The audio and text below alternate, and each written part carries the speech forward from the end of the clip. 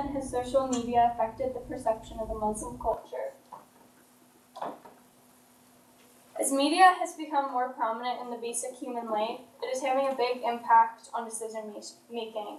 Media has altered the perception of different cultures socially through Muslims, the president, and even the public.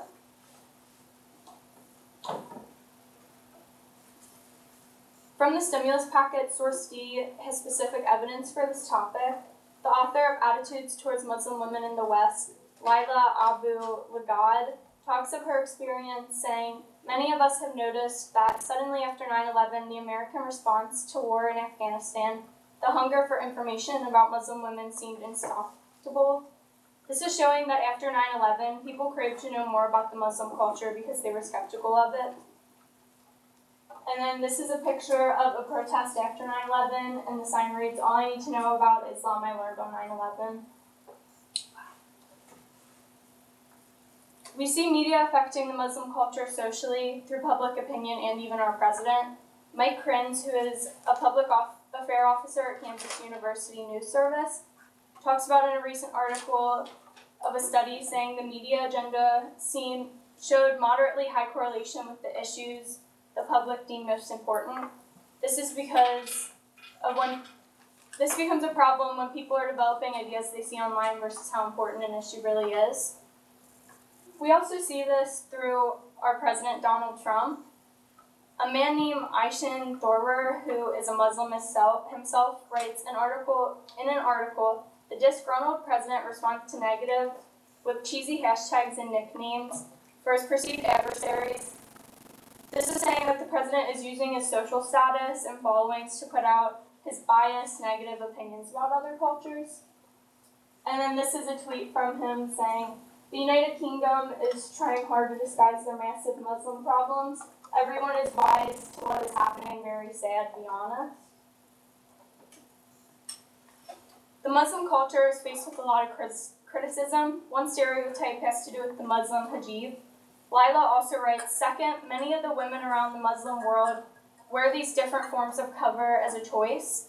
This comes after many people question the headscarves and assume it is because of modesty and that the men force the women to wear it.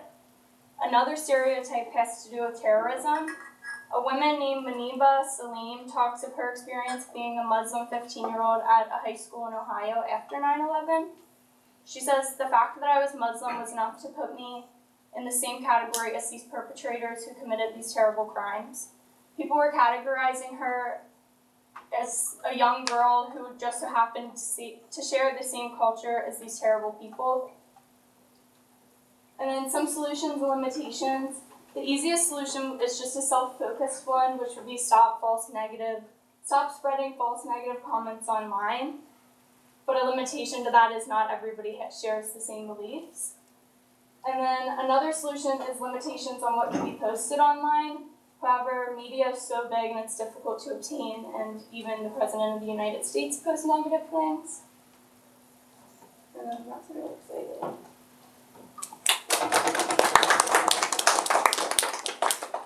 Okay, uh, one question for you, Grace. If you did have more time, what additional research would you conduct related to the issue? Um, I probably would have added the political historical lens and probably added not just the Muslim culture, probably more cultures, and the effects after war, not focused on 9 11 so much. Okay, thank you. It's like golf clubs. Uh, okay, so what, what'd you think, Grace? Did you do good? Um, kind of. Kind of? What'd you guys think?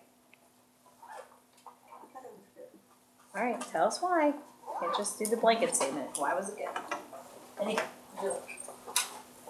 mean, I thought it was really good because you included, like, you, you were informative and you kept the bias out, even though that's really hard to do on such a controversial topic that many people are passionate about. Mm-hmm. But it was more informative. It was good. Good. What else? I like the one sort of like, I don't know if there was statistic, but oh, it does for the second. Yes.